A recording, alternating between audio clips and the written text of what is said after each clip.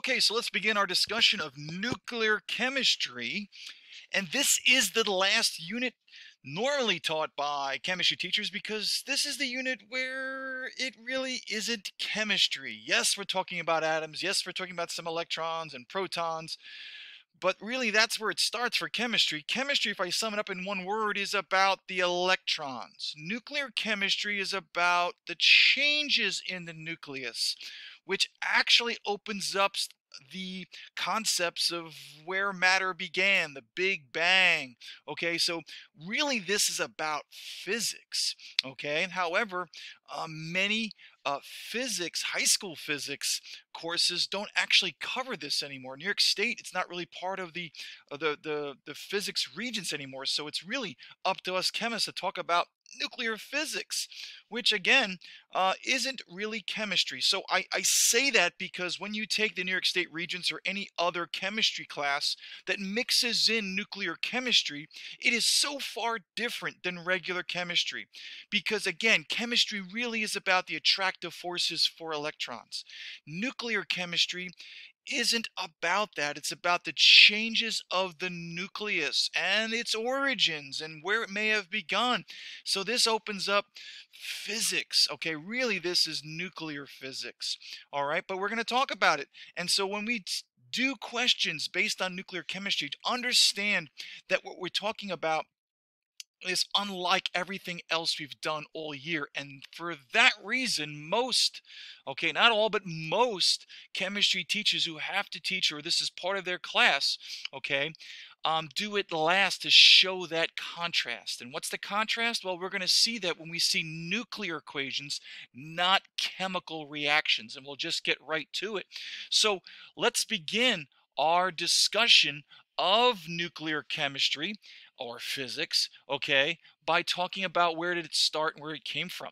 Okay, well, really, I can't talk about uh, where we're going here without talking about William Röntgen, who was the discoverer of the X-rays, and that's his wife's ring, and that's one of the first images that he was obtained. And of course, they called them X-rays because they didn't know where these rays were coming from, but they did know they went through soft tissue, and he was able to photograph plates and get an image of where the rays could not go through as well. And so this actually is his wife's wedding ring. That's a nice ring, I guess. Uh, any case, really cool about this uh, man right here is that he wasn't interested in making money. He didn't patent his x-ray machine, which was based upon the Crookes tube in a second. He actually unpatented it and made sure that everyone had the ability to uh, utilize this technology for medicine. So uh, pretty cool there. And so we know that the X-ray came from the Crookes tube, right? The end of the Crookes tube. And we should know this is a cathode ray tube and the older TVs were CRTs and they showed off x-rays that's why people said hey um, don't sit next to TVs so close I remember my mom saying that and she was right obviously later on they put big big lead kind of glass in front to eliminate that but earlier TVs did give off x-rays uh, certainly lower amounts but any case this Crookes tube was initially used by J.J. Thomson discovered discover there were electrical particles being pulled from atoms right so this part right here was the cathode, right? The cathode. And the cathode region, okay, uh, was connected, all right? It was, of course, uh, negatively charged, these plates, and they were negatively charged because they were attached to the anode of a battery. Okay, and this was connected to the cathode of the battery. This is the electrolytic cell. So this was the anode okay, of the electrolytic cell, I should say at least these plates right here. Okay, and so the cathode is positive in a voltaic cell, so the anode here is positive here. And if you remember, okay, we have an atom, and of course what's happening is an atom is made of positives and negatives, and the negatives, the electrons, were ripped away from the atom as they went toward the positive plate, okay? I should finish that off there. All right. And we also know there was uh, something called canal rays that went backwards, but these particles were, of course, what J.J. Thomson discovered to be as electrons. But, okay, we do know that these high energy electrons, okay, could slam into the metals. And when they slam into the metals, they could excite electrons that are in lower energy levels to very, very high energy levels. And of course, electrons go jump back, relieve that stress, and they gave off x-rays is one of the reasons okay x-rays were given off all right and so that's something um any case that we're talking about here and it's something that connects to the course here so these x-rays were uh, called x-rays because they didn't know and and and and uh, this man right here that we talked about all right William Röntgen, okay, used these x-rays as a tool for science. All right, so uh, getting rid of the drawing tool, okay, and that's what he did. Any case, moving forward.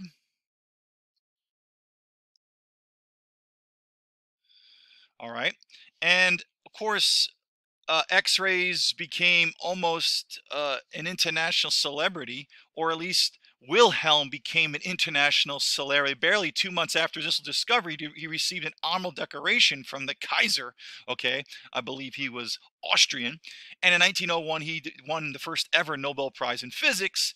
Okay, in some places, X-rays are called Roentgen rays after him. But this became such a cool little thing. They didn't know the uh, danger of X-rays. This was high energy electromagnetic radiation, which, by the way, is a mutagen, right? It's going to actually uh, break apart DNA, uh, cause mutations that could be lethal, right? So that's why they cover your gametes okay uh, when or at least your gonads, I should say, your sexual organs, okay, when you take an x-ray, but they didn't know the dangers of these things. So this is a coin-operated x-ray machine in 1900 they just had out in the open that people could, hey, hey, let's take a x-ray of your hand or something, all right, and gosh, boy, that's kind of crazy without understanding the uh, negative effects of it. Any case, moving forward, we're going to go on to radioactivity. Now, radioactivity, I can't really talk about unless I talk about some major players. Okay, now, uh, the, the three major players beyond Wilhelm Röntgen was Henry Becquerel, Pierre Curie, and Madame Curie.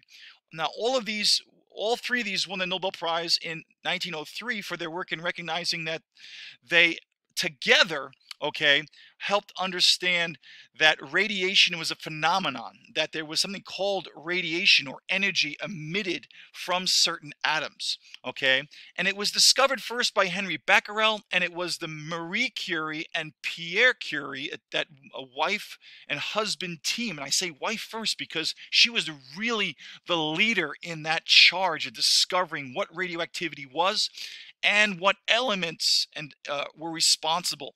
Okay, now I can't say they knew exactly what it was, but they were understanding the phenomenon and using it to um, to figure what elements had it. So it was major, major work done by all three, and I'll talk about them. But it didn't start until Henry Becquerel, uh, thinking about X-rays that Wilhelm Röntgen himself were using, that started the process. So Henry Becquerel, okay, let's talk about him. Um, and of course, he was a classical physicist himself, but more importantly, he was interested in something called phosphorescence. And phosphorescence is nothing more than something that will glow when you put energy in it. We had a, a, a phosphorescent slime that we made, or cross-linked polymer, and we put the the um, we had a glow in the dark, and we put put it in light, and it glows for a certain amount of time. It's but it doesn't do that unless you give it some initial energy. So he was investigating some some uh, compounds. In fact, the compounds he had from his dad, who was also and his grandfather, who were both um, well-known physicists of the day. Um, he had something called uranium salts, which means they had a bunch of different compounds. Of course, there's uranium in there. And he noticed that when you put light on them or sunlight, they glowed for a amount of time. So you want to know what that was. All right. So again, using some uranium salts and trying to understand maybe the sun or the light that made the uranium salts glow was due to some kind of X-ray light radiation from that. So he's trying to tie in the X-ray emitted by the Crookes tube that it was a natural occurring effect from possibly the sun that uh, uh made compounds glow. All right, and that's what he was doing. And um, so his famous, um, or his famous um, uh, work here was that um, he one day uh, was using this experiments with uh, uh, salts of uranium, compounds of uranium, not knowing uranium itself was radioactive. That was obviously something that was found by the threesome there. But the point was, he was doing experiments, and so, as the story goes, there was a cloudy day or it was a cloudy storm that came by, and that uh, he couldn't do the experiments with the sun anymore. So he put his uranium salts in a drawer, and supposedly. Uh, there was three drawers. In the top drawer, he put the uranium salts. In the middle drawer, he had some keys, and in the third drawer, he put the um, the photographic plates. Okay, that's where the images are occurring. And so, after three days of just stormy weather or no sun, for whatever reason, he decided to um, have the plates um, um uh, you know, chemically uh, analyzed, and I say chemically analyzed, but we now say develop. You guys, the kids now don't know what develop filming is, but we, before we had digital uh, cameras, we had film, and we, we we processed that. So, in any case, he processed the film, and he got images. Now, this I don't think is the exact image, but supposedly he got images of keys. Now, what this is right here is called the Maltese cross okay but he was able to see that the light from the sun had nothing to do with these rays or this type of emission that was causing the photographic plates to uh, have an image on it. So this is a some sort of Maltese cross, but suppose it was keys. All right. So he was able to say, and he was the first to discover something called Becquerel rays. Were they X-rays? He didn't think so because he wasn't using a Crookes tube. There was some kind of release of energy that was due to the or ah, the compounds itself. We can't say atoms yet, right? And it's important to realize that we're talking about a time period where people were discovering atoms. Remember, look at the time period. Okay, the time period is turn of the century, 1900s, 1800s. It wasn't until 1905 that all scientists agreed that atoms existed. So we have this phenomenon of compounds giving off energy, this, this phenomenon of, of radiation, and the development of the atom theory, particle theory at the same time. So these things are happening. We did talk about that. We left this alone, so we're going back. Now, Pierre Curie um, was a physicist in his own right that was uh, very very uh, important in this process. And before he um, worked on radioactivity with his wife, who really made the charge that way, he did a lot of work with crystals and saw a piezoelectric quartz electrometer. Basically, was able to do he was to measure the fact if you take uh, certain types of crystals like quartz and you you compress them, they give off a voltage and decompress them likewise. And he was able to create these circuits or these crystal oscillators that we still use for watches or digital electronic circuits still rely on his form of crystal oscillators. Now, uh, you hear the quartz watches, that's where it comes from, but also think about our scales in our lab. Our electrical scales use a piezoelectric crystal, okay?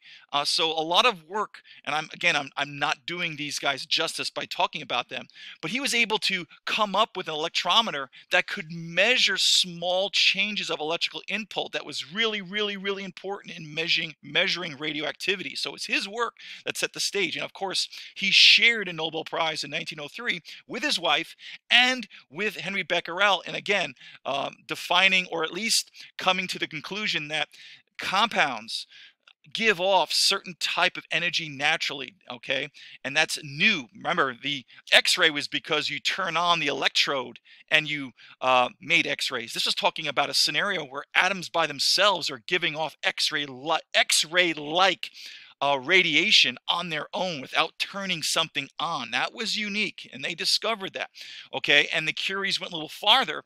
They were able to actually um, find what atoms were doing it and they were able to purify atoms based upon their differences in how they had differences in their type of radioactivity. Again not doing them the, the justice okay in this quick representation but you should be aware of these individuals.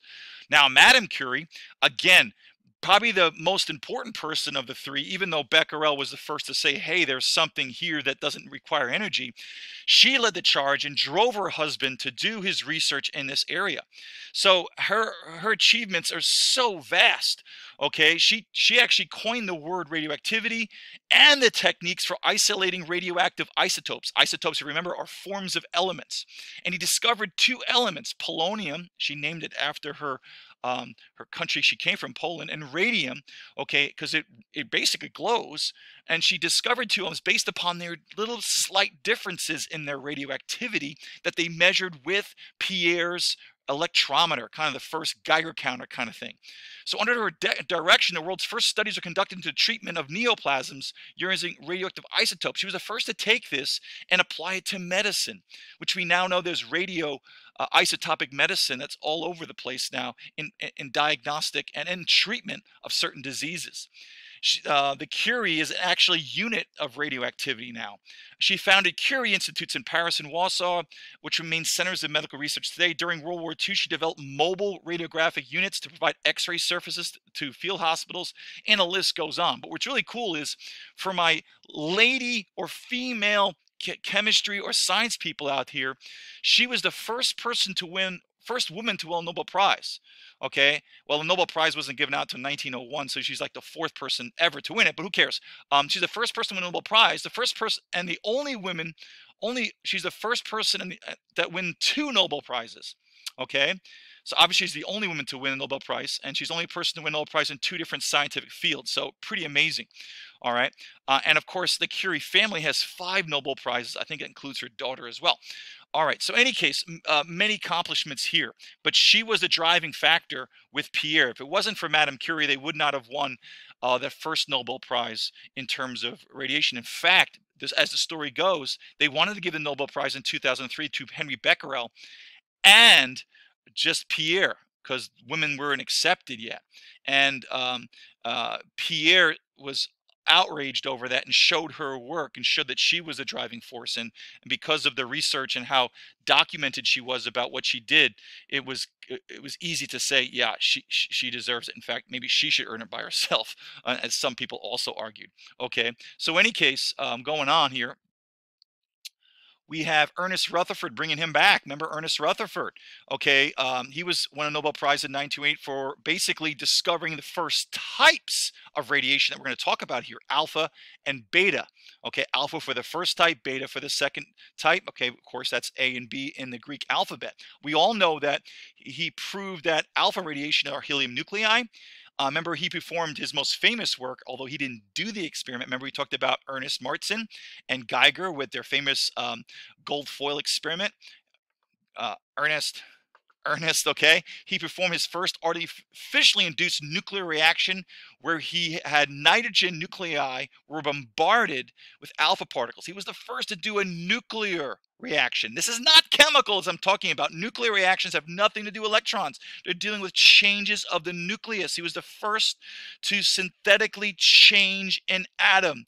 Remember, Okay, chemistry started with the warlords and wizards back in the medieval time. Sorry for those people that believe that there were Merlins, and maybe they were. We have no scientific proof, but we think that the people knew some chemistry experiments and could do things. Any case, they were many of them supposedly were trying to change things into gold. They were trying to change how well, why does one thing become gold and one's not? Well, if you remember, gold has 79 protons. What makes an atom unique, remember by Henry Moseley, which, by the way, my friend, is a student of Ernest Rutherford, suggested there was 79 protons in gold, and no other atom has that. Well, my friend, Ernest Rutherford was the first to start changing atoms by changing their proton number. Okay, obviously there's a heck of a lot more nuclear reactions since then. All right, he also discovered the hydrogen atom, okay, um, which later became known as the proton, although Uh, it was Henry Moseley who was quantitative in showing that every single atom has a unique number. Don't forget, Chadwick was a student of Rutherford, okay, that discovered the neutron. So this guy is called the father of the atomic structure. He actually had his first model of the atom where the nucleus was small and had positive force because of the protons and electrons were on the outside. Remember, it was who? Bohr who organized the electrons and energy levels after and started the quantum revolution. So let's continue on. All right, so now we're getting to the meat of this, and I needed to do that. I'm sorry to go back through the history, but now we need to talk about isotopes again. Isotopes, and this is back, is the same element. Now, why are they the same element? Well, they have what? They have the same number of what? The same number of protons, right? There's one proton, one proton, one proton. Hydrogen is hydrogen because of one proton. Now notice what makes these different, very famous isotopes. They call it deuterium, hydrogen 2. Now, why is it 2? Because the mass is 2. We later found out that a proton, oops, and a neutron have about the same mass. So the mass of the atom is due to the nucleus, right? The electrons have an insignificant mass. Remember, electron is about, what, 2,000 times lighter, okay, than that of a single proton, single neutron. So the mass of the atom, that's what this is right here, is that. So what we have here is the same atom, same hydrogen, I'm sorry, I should say the same element, but different number of neutrons. And having different neutrons gives them a different mass. So we uh, we say hydrogen one, saying, hey, that's the hydrogen with one proton only. Hydrogen 2 means, hey, it's a massive 2 because we have one neutron. And of course, hydrogen 3 is one proton and two neutrons. So this is these are talking about specific isotopes. Nobody ever says hydrogen, okay? Normally when we're talking about atoms or uh, nuclear chemistry or physics, because you want to talk about exactly which atom or form of the element you have. And the form is called an isotope. Same number of what? Protons, different number of neutrons. And we learned about this by what? By the mass spectrometer. We can remember the mass spectrometer where we split up atoms based upon their different masses. Okay. Any case, abundance in nature. Okay. Uh, uh, most of hydrogen is hydrogen 1. And this is a 1 here once that clear, clears. Okay. And this is hydrogen 2. Remember the ones are on the bottom. And this is hydrogen 3. And of course, tritium, deuterium, and hydrogen are the names of the individual uh, isotopes. Now, why do I bring these up? Well, because when we talk about radioactivity that the Madame Curie's coined, we're talking about party people, the fact that usually one of the isotopes of some elements okay, has a problem. And that problem is that the nucleus is unstable. And unstable means high energy. It wants to do something with it. So in this case, this is an example of a radioisotope. This is an isotope that is unstable because something is wrong in that nucleus. Okay, and so we're, we're understanding that radioactivity is that there's something wrong in the nucleus. When it was made, okay, or when it accepted more neutrons, and it can, okay, we know that um, hydrogen atoms can absorb neutrons and they use them in water, okay, as moderators to slow down nuclear reactions in um, uh, electrical nuclear reactors that we have in our um, in our society that produce electricity and those are fission reactions and we use a moderator to collect that. We'll talk more about that but the point is okay this is unstable because there's a problem. The problem here we're going to talk about is too many neutrons. So this radioisotope okay or this form of hydrogen is going to emit energy to get stable and what does it do it changes itself so we'll talk more about that okay now here's another example Okay, we have carbon 12 and carbon 14, and this is kind of like my Rutherford um, model of the atom where you have the protons and neutrons. Remember, carbon is carbon six, I'm sorry, it has six protons. Only carbon has six, so you can count the six protons. Now, carbon 12 would mean it has six protons and six neutrons because the mass of the atom is the addition of all the protons and neutrons, since protons and neutrons have the same mass. Now, this is carbon 14. Whoa, it's two more. Electrons are still the same because the positives equal the uh, equal the the positive six equals a negative six of the six electrons. Don't forget that isotopes are still atoms. And when I say atom, you say neutral. So the protons equal electrons here. So it's a little bit of review here, okay, of atomic structure. So same thing here, proton 6 equals 6 electrons. Nothing's different. The difference here in these two isotopes is that carbon-14 has two more units, atomic mass units, okay, sometimes called AU or AMU, okay, and has two more neutrons. This has what? 14 minus 6 is how you actually get the neutrons, is what? Is uh, uh, 8 neutrons, this has uh, 12. 12 minus 6, and all I'm doing is taking the mass and subtracting it, subtracting the value of the atomic number, and that gives us that. So what do we have here? Okay, well, this is important. Carbon 12, that's the stable form, exists 99% of the time. It has 12 AMU. And what I'm showing you is a weighted mass problem. And then we're going to find exactly why it has a certain number. Uh, carbon-14, this is the radioactive form. This is the radioisotope. And you'll say, well, why is the radioisotope? Well, for the same reason hydrogen-3 has. It has too many neutrons, which we're going to find is the first reason why nuclei are high energy and there's something wrong with them and they want to fix them. So they do something. They emit radiation to fix their nucleus. Okay? But this is only a small percent. And so when you do the, when you take the actual atomic masses, okay, this being a little more heavier because of two more neutrons, okay, and that's why these are isotopes, differ by the neutrons, and you multiply them by their percentages, you get these numbers we add together, and that's why carbon 12 on the periodic table, okay, is listed as a fraction, something else we should know, all right, as we go through this. And, and this is a classic Regents level type of calculation they expect you to do. Okay, we've covered that. So any case, moving on. So this carbon 14 acting as a radioisotope, meaning it's going to fix itself, undergoes a nuclear equation. It is not chemistry. It's not about electrons. We're not breaking bonds and forming new bonds. What we're doing is that carbon 14 by itself, and this is carbon dating, right? So a small percent of carbon over time becomes nitrogen. What? Carbon becomes nitrogen. Now we sound like the what? The world, the warlords or the wizards or the Merlins. We're changing carbon into nitrogen. How can that happen? Well, we emit something called a beta particle. Now, let's remember the top number here is the mass number, and we give a zero for things that have insignificant mass. Okay? And this bottom number is the charge number. So by the way, this is an electron. Now we know electrons do have some mass, but their mass is so small compared to a proton or a neutron, we say it's insignificant and you'll see a zero there. Okay, so this is actually an electron that what? Comes out of the nucleus to make this thing stable. Okay, and this is an example of a nuclear reaction. Even though you say, Mr. Grodski, there's no electrons, you got an electron here. We're talking an electron that came out of the nucleus, huh? And let's talk about this. Six protons, seven protons. Okay, and notice something. All right, 14 over 6, 14 over 7, and something else to notice okay? That's really the 14 over 7 is not important yet, but 7 plus a negative 1 is 6 on this side. There's 6 on this side. 14 plus 0 is 14 on this side, 14 on this side. So there's mass and charge conservation we'll talk about. I'm going to explain this, so just give me a second. All right? So the, the point I'm trying to make here is that the radioactive carbon, carbon 14, becomes the more stable nitrogen when it emits a high speed electron, which, by the way, is also a mutagen. You don't want to be around this. And we also know something about electrons is that electrons could be considered X-rays too, right?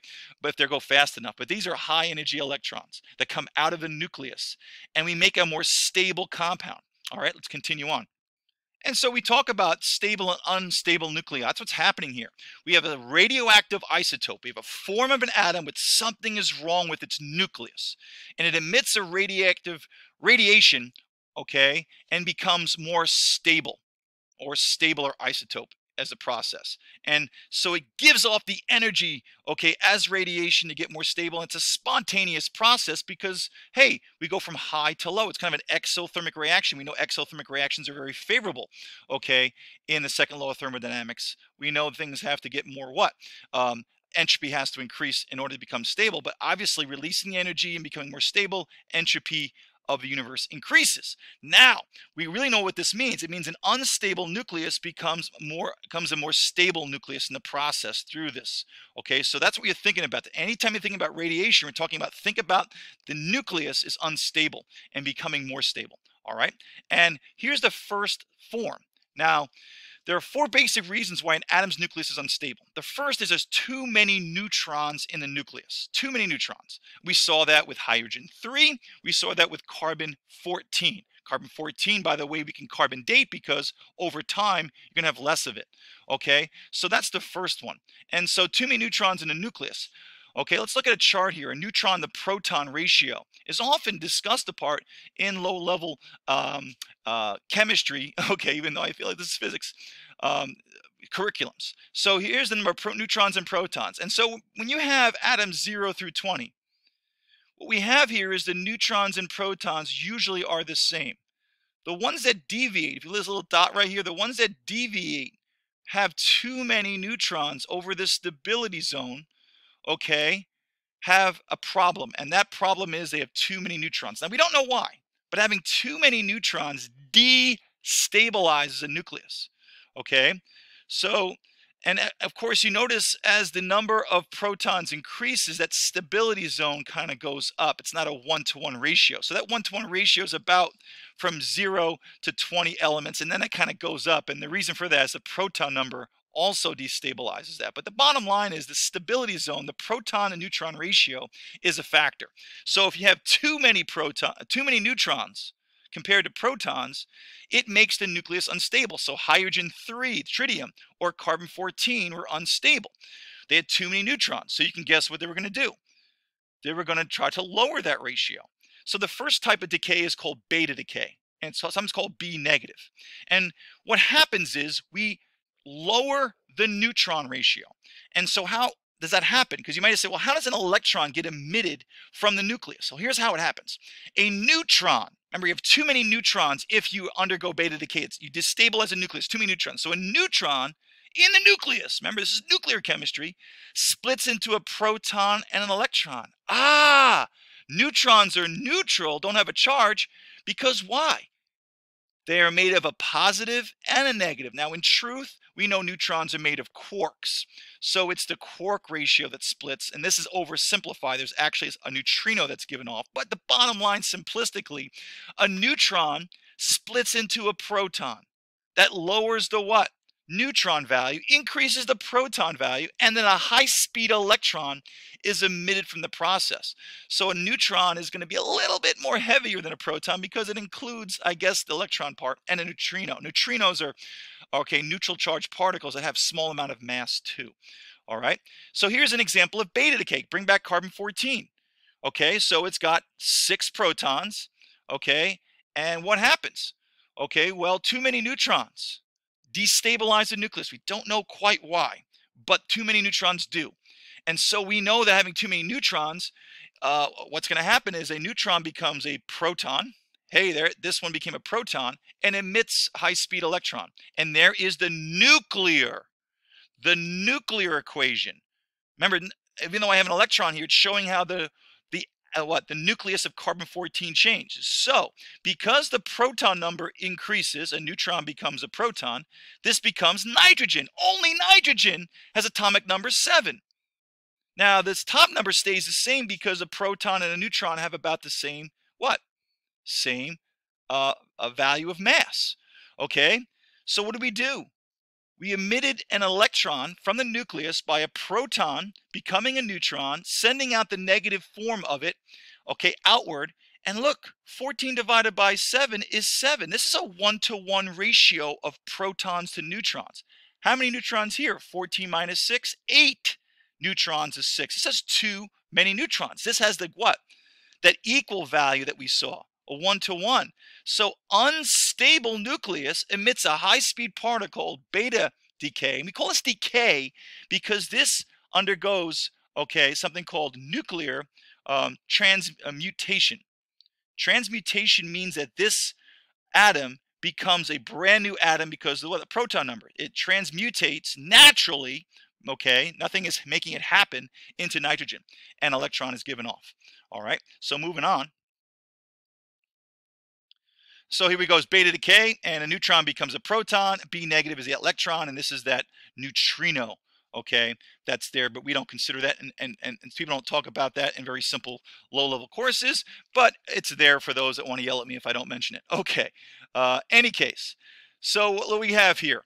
We have carbon-14, 8 a neutron, 6 protons, a 1.33 ratio. After it transmutates, okay, naturally, it has a one-to-one ratio. So the reason it gives off a beta particle is to get stable and fix its nucleus and have that one-to-one ratio. Okay, so here's a classic Regents chemistry question here. We have strontium, okay, 38's below here, 38 here, and 90 here. It gives off a beta particle. Beta particles will be given to you in table O. What is X? Okay, and of course, um, what is x? Well, x is y, and that was poorly done by my part, but what is this value? Well, if you notice, how do I do this? This is a 38. This is 39 plus a negative 1. So to get this number, this has to be 39. Electrons don't have a mass, so 90 plus 0 is 0. So again, if this is strontium 90, 38 is here. This side has to equal 38. So if I didn't give you this value here, you'd have to know it's 39 because 39 plus a negative 1 is a 38. Remember that 38's there. Okay. So what is X? It is Y. Yttrium is atomic number 39. I don't know why that didn't work there. That should have been something I did. And maybe I maybe I hit it. Oh yeah, what is X? And then if you do this, it's Y because that's yttrium. And only yttrium, okay, element with the symbol Y is 39. I was trying to be funny and it didn't work out. That's often the case, I think. Okay, we already talked about too many neutrons. What about too few neutrons, right? If we go back to that chart, which I'm not going to go to, we have some that are under that one-to-one -one ratio or under that stability zone. We call this positron decay or beta decay. Now, positron decay is where a proton in the nucleus splits into the neutron, right, and gives off an electron with positive charge. What? An electron with positive charge is called a positron. And my friends, this is an example of antimatter. Okay, and so antimatter has been around in discussion since the 30s. Since quantum mechanics, people used to take out their negative uh, solutions and say, ah, we can't use a negative solution because how can we talk about negative solutions? But the point is that the mathematics proved that there was something called electrons with positive charges, and they're called antimatter. In fact, part of the Big Bang theory, if I'm not mistaken, is that all matter created from the Big Bang. The Big Bang is where the universe began with a small little bit of energy or a, a huge amount of energy in a small area was converted into all the matter in an explosion. So energy became matter. That's what Einstein's famous equation, E equals mc squared.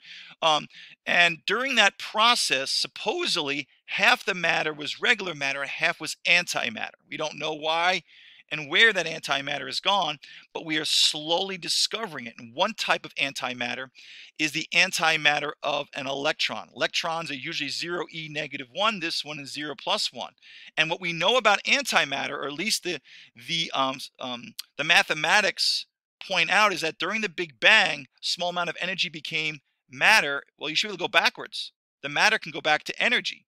So what we know from mathematics, and we've seen this now, is that the anti-electron particle called a proton, when it finds an electron, they annihilate themselves. All the mass gets converted to energy.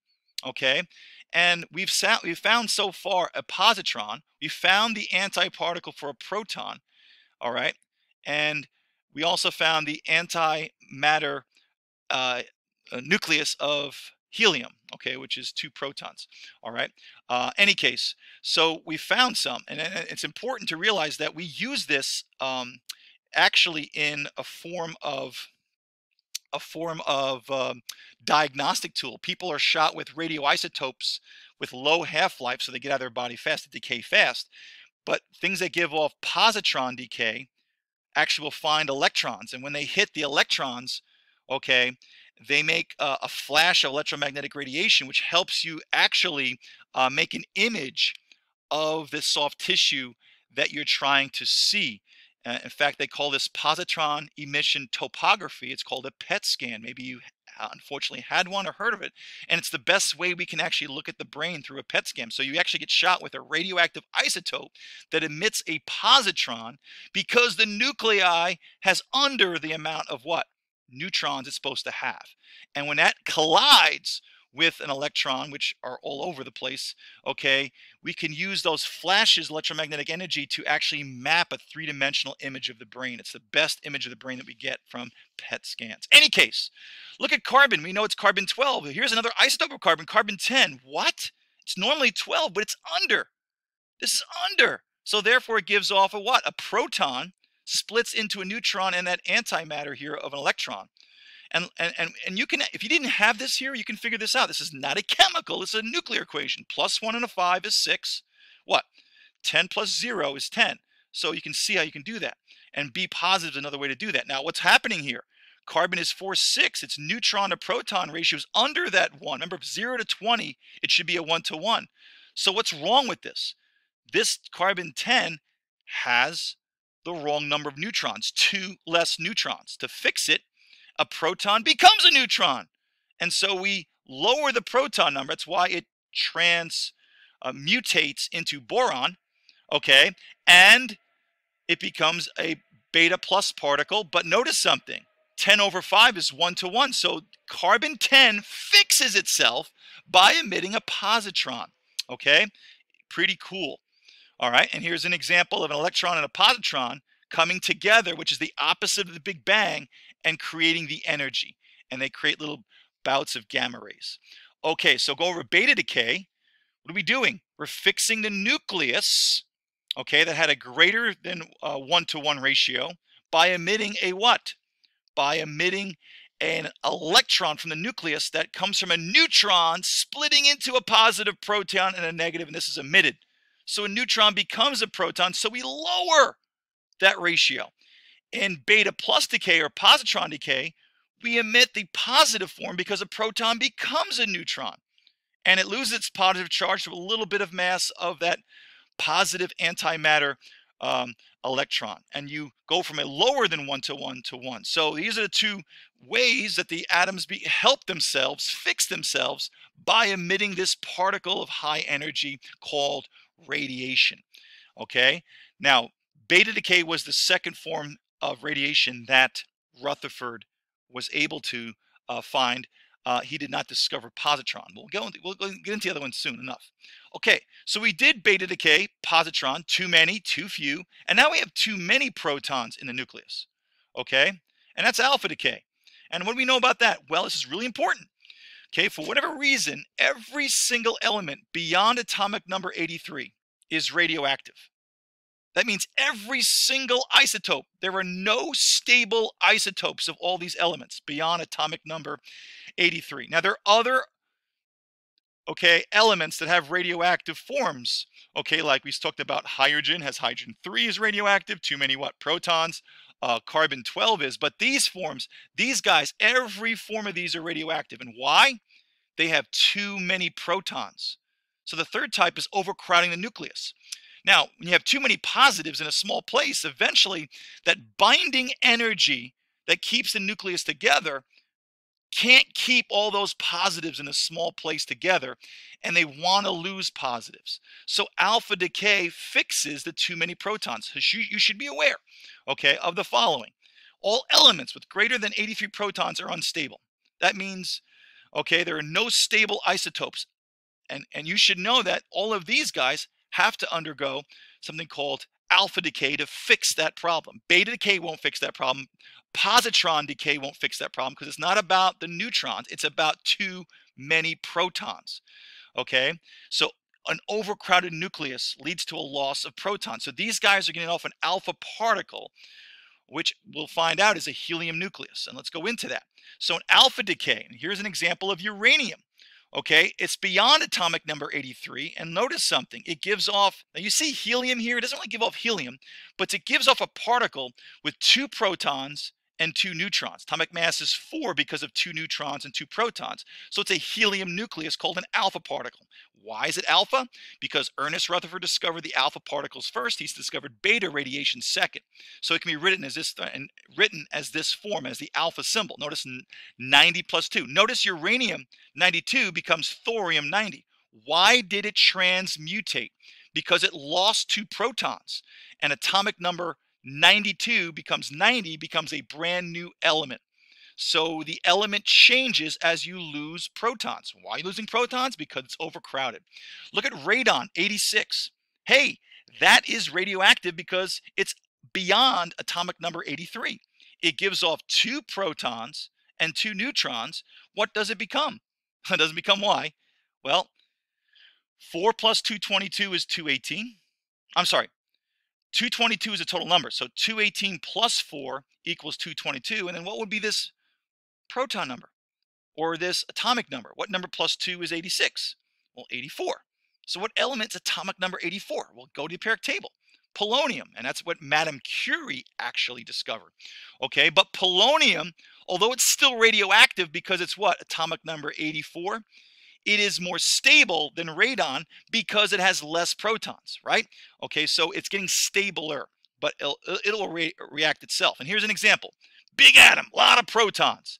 83, beyond atomic number 83, every element of every isotope or every isotope, every element is going to be unstable. Too many protons. So this is going to lose what? This four here means that protons and neutrons have the same mass. So atomic number four, to what?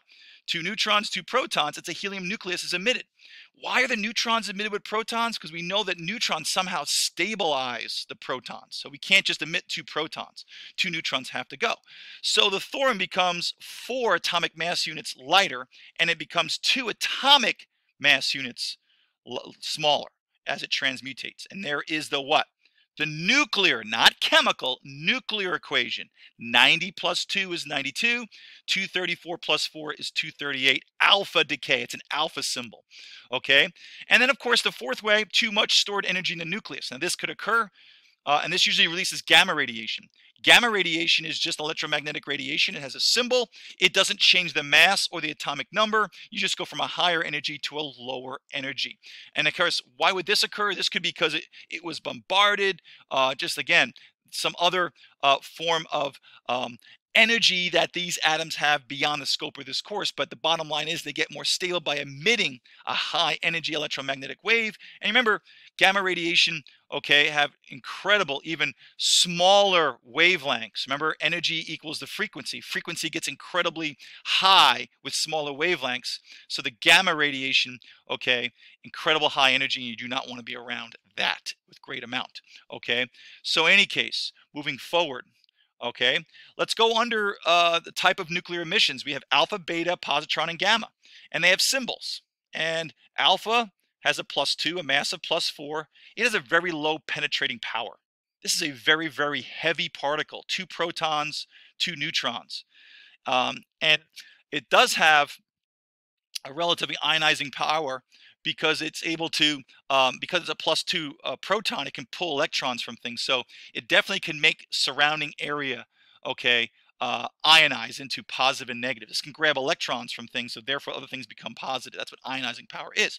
Beta, that's that electron coming from the nucleus, charge of negative one. Now it's much lighter. Remember, it's just an electron. Electrons are 2,000 times lighter than, than that of a proton or neutron.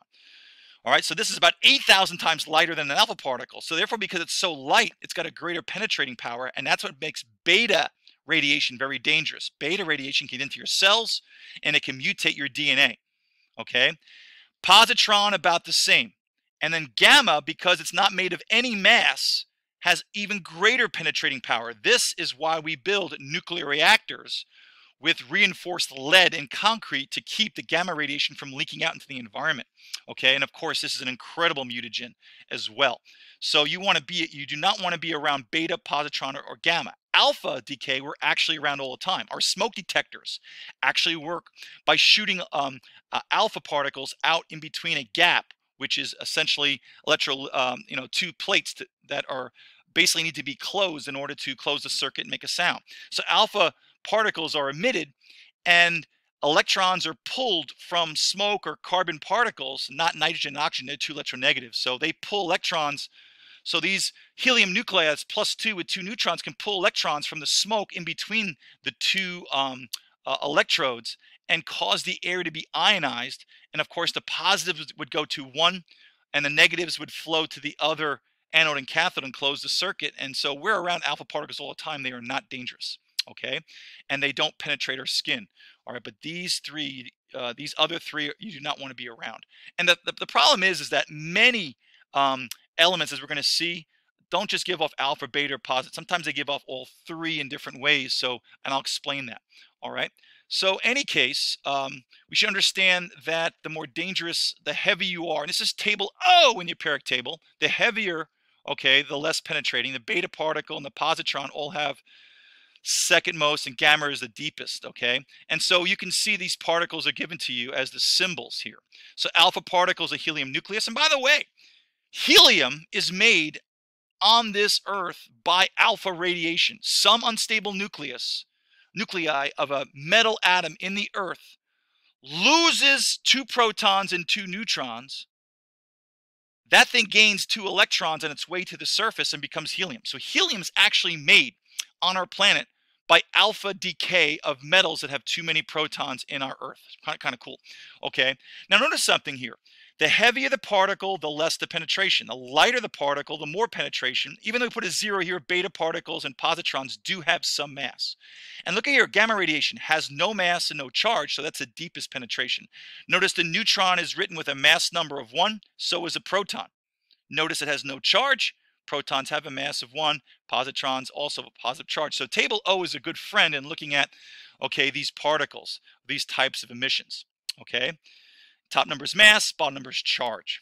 Okay, and then table N, na na na na, hey, hey, hey, the last table, table N. And so it lists selected because there's more. Look at carbon 14. Okay, it's it's what a B negative. What's a B negative? Beta. What does beta occur? Too many neutrons, right? So if you look at here, okay, the most abundant isotope is the average. Okay, so look at gold, AU its average isotopic mass when you weigh in all the isotope is about 197. Hey, this has one more pro uh, neutron, right, than 197. That's why it's beta decay. Let's look at some more. Cobalt is actually 50, rounds off to 59. Cobalt 59 is the most abundant. So it normally has 59, right? The weighted mass is always closest to the most abundant. Always one has the highest percentage. But look at this. So 59 is what this averages to. This is cobalt 60. It's got one more neutron. Oh, B negative. We're going to get rid of that. What's going to happen is a what? A neutron splits into a proton and a positron. Okay, look at cesium 133. It rounds off to, which cesium 133 is the most stable isotope. And again, 137 is above that. Too many neutrons, and it goes beta decay. Okay, let's look at potassium. Normally it's 39. Whoa, calcium 37. It's under the most stable form, which means it has positron decay. But it's a proton is becoming a neutron and emitting the positron. So there's the reasoning right there. Notice H3 has too many what? Neutrons. It, and it goes beta decay. All right, so good job there. Oh, and of course, I should have mentioned francium. Okay, francium's atomic number 87. I know you don't see that here, you have to look it up. And 87 is bigger than 83, so it's got too many what? Too many protons gives off that alpha decay. All right, I'm not going to play this, but this is a great little video that shows you can actually see how far these guys move. Okay, um, something you should know is that when I shoot uranium, uranium can actually have three forms. So some forms of uranium can give off alpha particles. So this is a uranium with multiple isotopes. Some isotopes can give off alpha particles. Notice they'll move toward the negative plate. If they give off gamma rays, they're not going to be affected by the negative and positive plate because gamma rays have no charge. They have no mass either. That's why they're the most penetrating. And beta particles will deflect toward the positive because they have a negative charge. So the alpha particles would go slower and they would deflect more toward the negative. Beta particles would go faster penetrate more, but they would deflect toward the positive because they're negative. Gamma rays would be the most penetrating because they have no mass, but they wouldn't be affected, no charge. Pretty simple stuff there. And I'm not going to show you that animation because I think you can play that on your own. Okay, decay series. This is important. If I've got plutonium 239, hey, there's too many what? Protons. Plutonium, okay? Um, if we look at our periodic table, all right, is atomic number 94, way over atomic number 83. So it undergoes alpha decay. And what's it become? Well, it becomes uranium 92. 94 becomes 92. Uranium 235. Oh, well, that's got too many what? Protons. It undergoes alpha decay. And what's it become? Thorium, because thorium is atomic number what? 90. But thorium 231 has too many neutrons. I'm sorry, uh, thorium 231 has too many neutrons to what? Protons. It undergoes beta decay. And you can see how this works. And eventually these guys all get smaller until they get to what? I'll, down there is lead. All right, so the last one on here is lead. And so when we find lead, by the way, atomic number 82, anytime we find lead in the ground, we stop all digging and we know something. We know what? We know that we have probably have other things decaying into it. Okay, it's called a radioactive series. Good for me, good for you. All right. And lead, of course, is, okay, doesn't have that atomic number 83. All right. And here's another example of that decay series, okay, of things working their ways back to lead. Okay. All right. So here got some questions. You can do these on your own and open these up. So I want you to practice all these questions. I did omit some, and this kind of goes over everything. And, and then we're going to work on the form. So I know it's a little long today, but a lot to go over. So try these questions on this slide. They give the answers when you click. Which element has no known stable isotope? Okay, we're talking about uh, we're talking about elements that are beyond atomic number 83 okay and that shows you that you can click through that so click through these questions and then when you're done okay if you have problems writing something called a nuclear equation i have a little video that's linked here to help you do that hope this helped